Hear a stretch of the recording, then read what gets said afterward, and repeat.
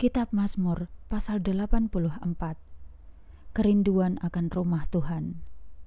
Betapa indahnya rumahmu ya Tuhan bala tentara surga. Aku sangat rindu dan ingin memasuki halaman rumahmu dan menghampiri Allah yang hidup. Bahkan burung pipit dan burung layang-layang pun boleh datang dan bersarang di antara mesbahmu dan memelihara anak-anaknya di situ, ya Tuhan bala tentara surga, Rajaku dan Allahku.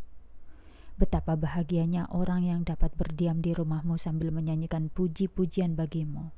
Berbahagialah orang yang kuat di dalam Tuhan yang berhasrat mengikuti langkah-langkahmu. Pada waktu mereka berjalan melalui lembah ratapan, lembah itu akan berubah menjadi tempat mata air dengan kolam-kolam yang penuh berkat dan kesegaran setelah turunnya hujan. Mereka akan semakin kuat dan masing-masing diundang untuk bertemu dengan Tuhan di Sion.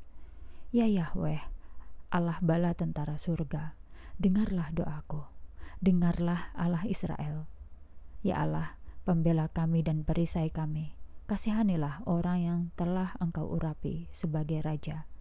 Satu hari di dalam rumahmu lebih baik daripada seribu hari di tempat lain.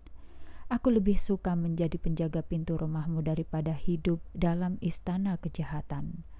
Karena Yahweh, Allah, adalah terang kami dan pelindung kami. Ia memberi kami anugerah dan kemuliaan. Segala sesuatu yang baik tidak akan ditahannya dari mereka yang berjalan sepanjang jalannya. Ya Tuhan, bala tentara surga, berbahagialah orang yang mempercayakan diri kepadamu.